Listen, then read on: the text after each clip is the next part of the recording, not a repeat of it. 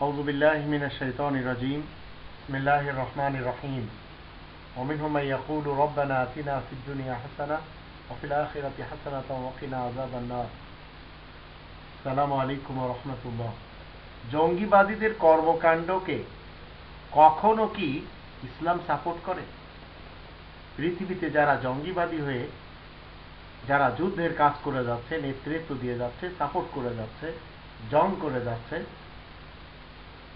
বিভিন্ন ধরনের বোমা বিস্ফোরণ করে যাচ্ছে। সুসাইড বোমা বিস্ফোরণ করে মানুষ মারছে, শিশুদেরকে মারছে, বৃদ্ধদেরকে মারছে, নারীদেরকে মারছে।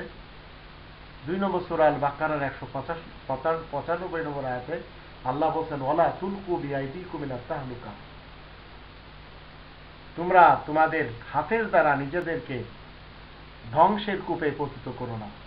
তাহলে এই আয়াত থেকে এগুলি সবই হারাম।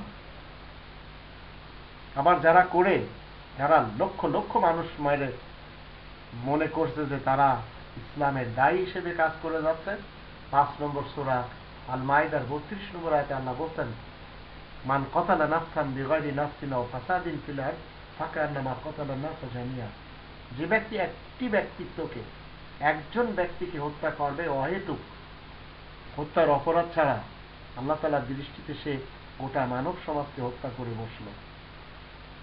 তো দেড় লক্ষ আলেম উলামা, হাফেজকারী এবং সিভিলিয়ানদেরকে মেরে ইরাকে আর সিরিয়াতে যারা মনে করছেন যে আমরা ইসলাম প্রচার করে যাচ্ছি, এই আয়াত নিয়ে তাদের একটু চিন্তা করা উচিত। চার নম্বর সুরা আর নিসা এর তিরানব্বই নম্বর আয়াতে আল্লাহ বলছেন, ওমাই ইয়াকুল মুকমিনা মুতামিদান জাহান্নাম। যে ব্যক্তি কোনো একজন মুমিনকে হত্যা করবে, আল্লাহ বলছেন, তার প্রতিদান হলো জাহান্নাম।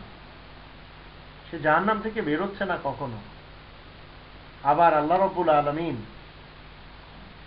বলছেন, তিন চার নম্বর সোরা আর নিসা এর চুরানব্বই নম্বর আয়াতে, ওয়ালা তাকুরু লিমান আলকা সালাম, আলাস্তা মোমিনা যারা আপনাকে আমাকে সালাম দিচ্ছে, আশীর্বাদ করছে, এমন কোনো ব্যক্তিকে আপনি আমি বলতে পারব না যে মুমিন নয়। তাহলে এই শিয়া সুন্নিদের লড়াই, এই সিরিয়ার লড়াই, এই ইরাকের লড়াই, এই আফগানিস্তানের লড়াই, এই পাকিস্তানের লড়াই, হিন্দুস্তান এবং বাংলাদেশে জঙ্গিদের যে সমস্ত লড়াই, কেন?